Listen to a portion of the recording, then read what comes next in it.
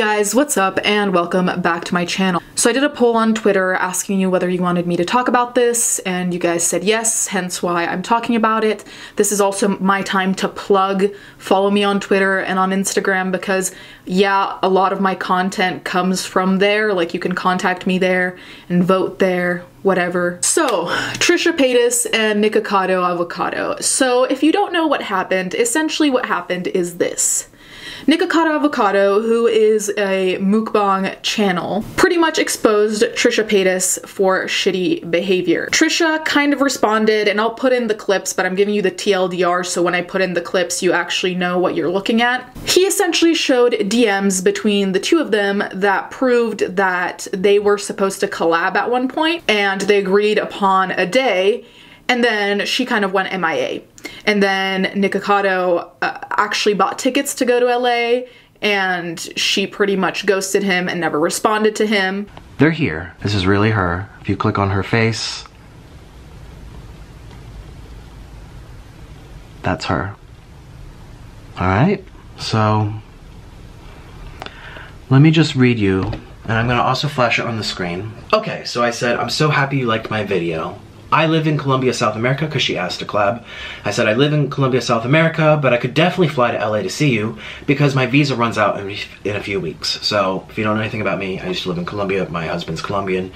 Every couple months I had to leave, go on American soil, and come back. So I was constantly having to travel regardless of what was happening. So I told her this was perfect timing, not to leave anyway. And then she said, oh my God, oh my God, what? Are you Colombian? I, didn't, I don't understand. LOL. You look American AF. Ha ha ha ha ha. Honestly, let's do it. Your cover of Warrior was so fucking crazy amazing. I was like so fucking impressed and honored and humbled. I've been watching you for a few months. I just adore you. And I said, my boyfriend is Colombian. This is before we got married. My boyfriend is Colombian and I'm American and I live here because of him.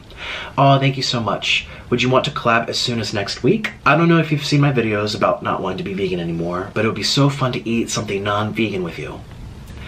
She responded, hell yeah. Actually, I'm pretty free next week. What day are you thinking? I said, I'm free all next week too. I just do YouTube, that's it, super flexible, so you can pick the day. I'm looking at flights now. So I let her know I'm flying. I said, I'm looking at the flights. I let her know, are you available? And she says, I'm free all week. I said, I've never been to California before. The best flight deal is Tuesday the 17th. Then she responds, I can make that work. Should we do a two day shoot?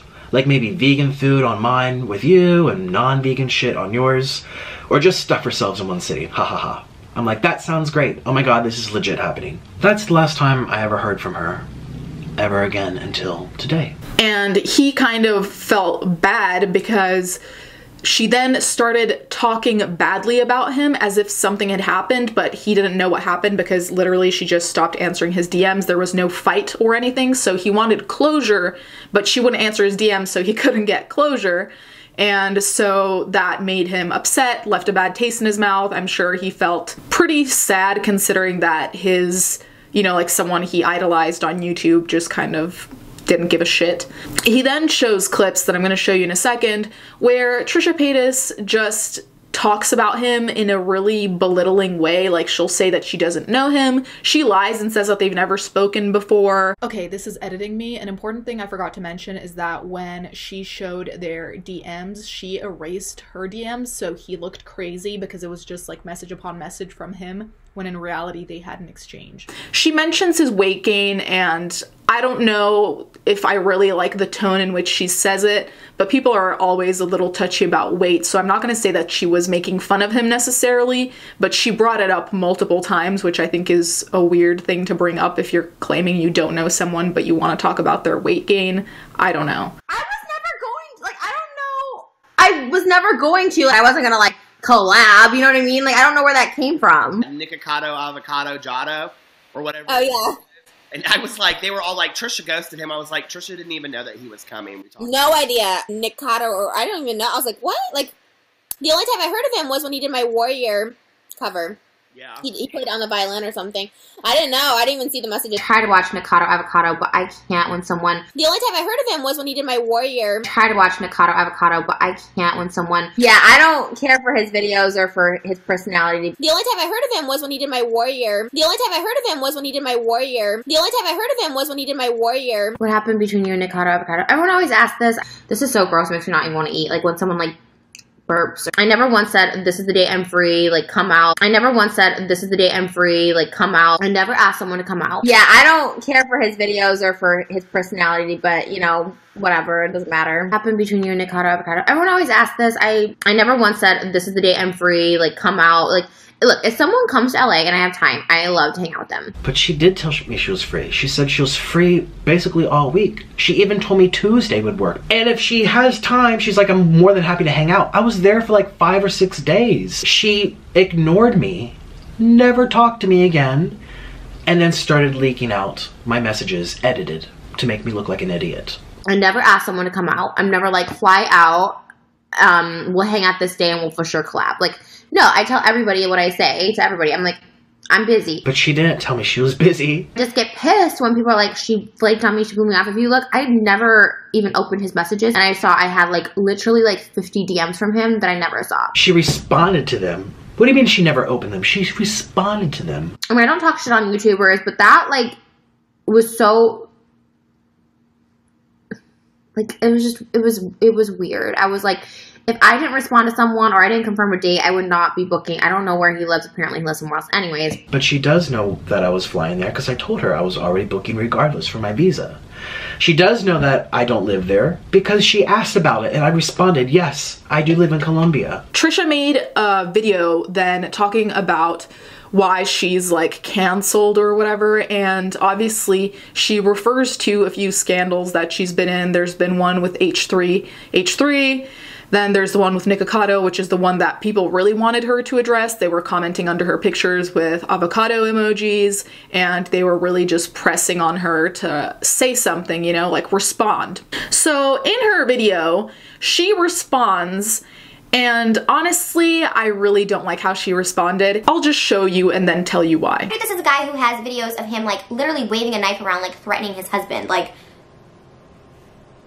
probably don't meet up with people waving a knife, threatening their significant other. You know, you know what I mean? Like, kind of just be smart in situations. There was also a lot of other videos that people had thrown my way after I like publicly tweeted that I was to collab with him. Like, uh, watch this. This is guy's, you know, he's looking he's looking at tickets now on on January 10th, and I haven't responded because I'm like, you know, at this point, you know, here's the thing. People have come to this. This is if this is my problematic scandal, then okay, so be it. People have come to LA all the time.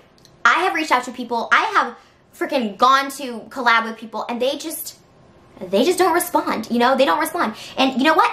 It does kind of suck. And I've always admitted to this that I'm like I'm just not good at communicating like back to people. Um, but there are countless people that I said they're going to be out here in LA that I'm like, yeah, let's meet up. And then like the time comes, they text a couple times. If I don't respond, they just let it go, right? Right. The, this kid also at the time said that I paid for his first class tickets to come see me. What? Um, so he's, saying, I'm looking at tickets now. Can you please let me know which days are free for you as we can better? I'm not responding, so I'm 40. And then I, I third Tuesday, and what part of LA? Sorry for all the questions. So I'm not responding because I'm like, at this point, people are sending me videos of him, and I just I don't feel comfortable. We're gonna we're gonna just not harass. That's what we're not gonna do. We're just not gonna keep harassing, which this person is doing again by making countless videos. And I'm just like, okay, that's what we're not gonna do. And him editing the Unite clip where I literally straight up said like he gained weight. So what? I freaking gained weight too. That's what happens as a mukbanger. You get fat. Like you know what I mean? Like, and I said that. I said that to the person. I'm like, so what? And he cut that part out. I was like.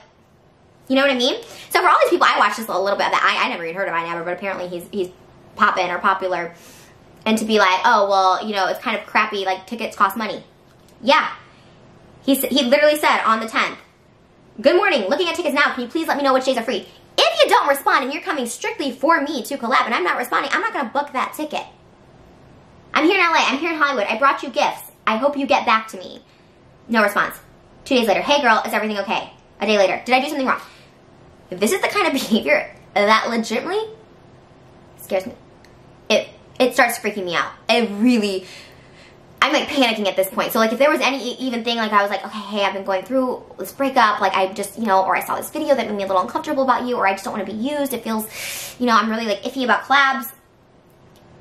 At this point, I'm like, oh my god, this is the behavior that I'm like, mm no, no, no, no. This is, I've had, I've had a few internet harassers that have actually it's like legitimate harassing where it comes to point like my live shows I literally give people like pictures and like I'm literally like do not let these people in. These are their names. Like if they book tickets like if they book it under a fake name do not let them in. Like I'm I'm on it. You know what I mean? There's like maybe a handful of people actually that I'm just I'm I'm scared. I'm legit scared. And I yeah I don't talk and I don't address these issues because you know for the most part probably people are seeing but also I've seen footage of a, a girl that I once knew like go to someone's work and threaten to beat her at like do you know what I mean? I get scared, and, and, and, you have every right. And and him in particular, I reached, you know, I had reached out to my lawyers, and he, you know, if he lives in a foreign country, it's so hard like. I was like, is there something to like just kind of protect me from this person? Like, he, he's made three videos now, and it's like, okay, agree with some of what Trisha says, and to be noted, I don't really watch either of these channels. Like, I don't really watch mukbang channels, so I don't watch Nikocado. Trisha, I maybe sometimes watch her, like, in the background if I have nothing to watch to have kind of, like, noise, but I'm not, you know, like, invested in either of these channels, really. But the way she discussed Nikocado was kind of disgusting to me because, first of all, she claimed you don't owe anyone a collaboration and you don't owe anyone an answer. Like if people ghost you, it's fine. Which, you know, like I agree with to an extent in the sense that if someone ghosts you, it's shitty, but people don't always owe you an answer, which is true.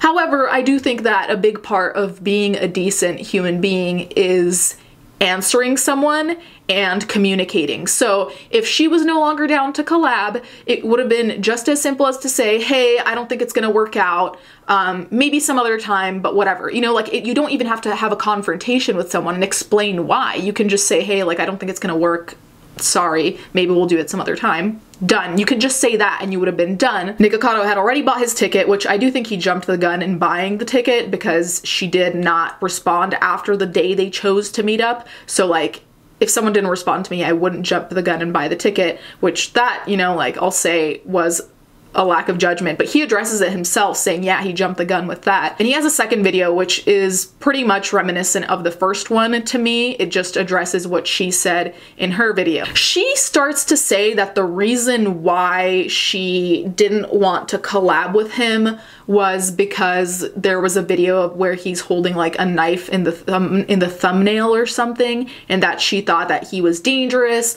and she kind of painted him as this like crazy person who is super dangerous and you know aggressive and violent because of the thumbnail with the knife which you know like I completely understand the idea of meeting up with someone and you not knowing what you are getting into and taking safety precautions like not meeting at your house and meeting at a public place first to, to gauge who it is you're dealing with, you know?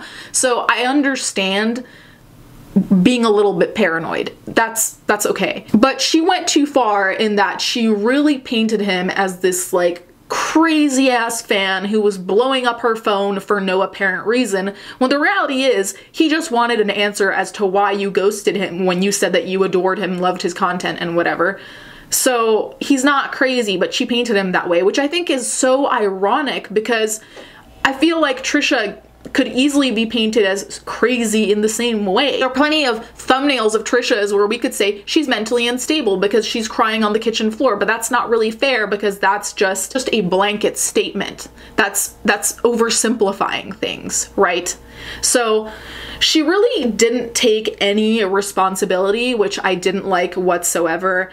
And I know that she's done this in the past. I'm only talking about this specific event because, like I said, I don't follow Trisha that closely. I did for this particular case, but not in the past. But overall, feel like Trisha gets way too many passes. Like people say she's a troll, and that's okay, fine, she's a troll, you know, like there are videos where she's clearly trolling, you know, and it's obvious. She's she's defaming someone by like making them sound like they're some crazy killer or something, which she kind of does in her video D does that mean she gets a pass because she's trolling? Not in my book. I don't know Nikocado. I don't know anything about him. But to portray someone like that online with no proof or evidence just because you saw a thumbnail and because they asked you for a reason why, I feel like that's really disgusting behavior. If you're claiming you don't know someone and you don't want them in your house, then how would you even know that they're crazy? How can you talk about them like that without knowing anything? I don't know. It just seems ridiculous to me. I don't understand why that's acceptable. Like whether you're a troll or not. I feel like it would be so easy to just take accountability here too, to just be like, hey, I fucked up.